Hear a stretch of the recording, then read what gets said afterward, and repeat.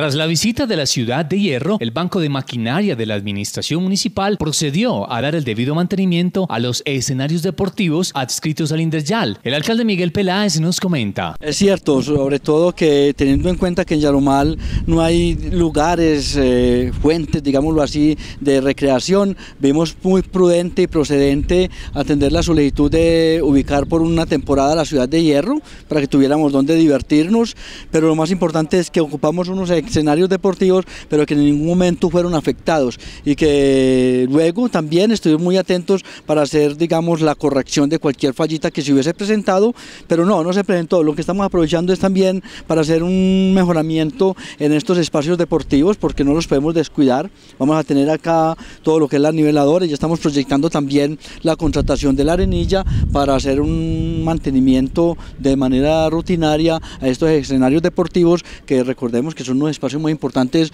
para la juventud de Yarumal. Entonces, en eso, con el INDER ya le hemos estado muy atentos, mirando cómo avanzamos, cómo le hacemos mantenimiento a los escenarios deportivos que tenemos. Los escenarios deportivos donde se asentó la ciudad de Hierro quedaron mejor de lo que estaban antes de su llegada. Así lo afirma Raúl Olarte, gerente del Inderyal.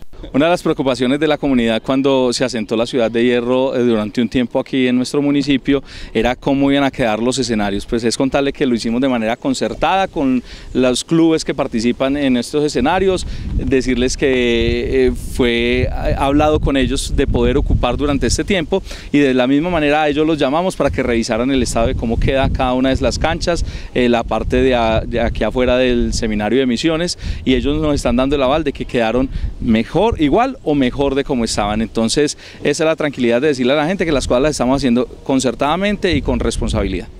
John Freddy Giraldo Ochoa, directivo de la Escuela de Fútbol, manifiesta el buen cuidado que le ha dado la alcaldía a través del Inderyal a todos los espacios deportivos. No, eh, siempre, siempre he trabajado con el deporte de Yarumal. En este momento estoy haciendo un trabajo con la Escuela de Fútbol Inderfugyal, la cual nos dieron reconocimiento el 8 de agosto del año 2012.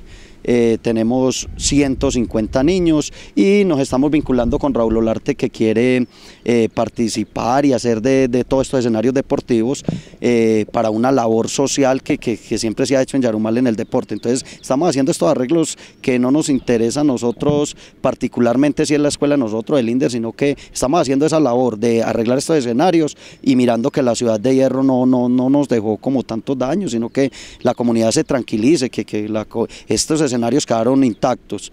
Dos cositas o tres que se van a hacer. Son antes, antes nos sirvió que hubiera venido la ciudad de Hierro porque en ese momento le estamos haciendo más arreglos a la cancha.